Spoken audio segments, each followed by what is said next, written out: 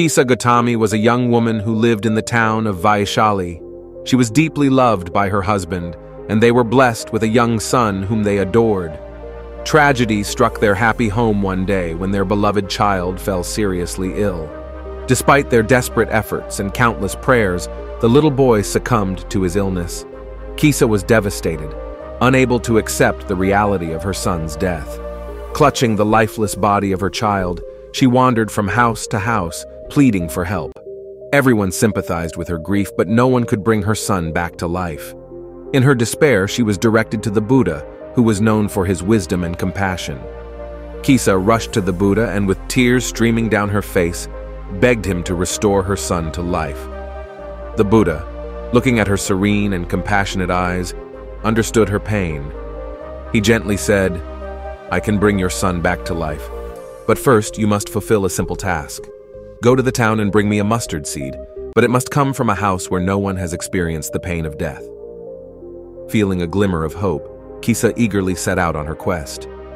She went from house to house, asking for a mustard seed. At each door, she was met with sympathy, but also with stories of loss and grief. There was no household untouched by the pain of death. Each tale she heard was a mirror reflecting her own sorrow, and she realized that her suffering was not unique. After days of searching, Kisa finally understood the profound truth. She returned to the Buddha, empty-handed but with newfound wisdom. She realized that suffering and loss were universal experiences shared by all humanity. In that moment of realization, her grief began to subside. She chose to follow the Buddha's teachings. The Buddha, seeing the transformation in Kisa, gently spoke, You have understood the nature of life and death. Embrace this understanding with compassion. Just as you have suffered, so has everyone else. By acknowledging our shared pain, we can find solace and support in one another.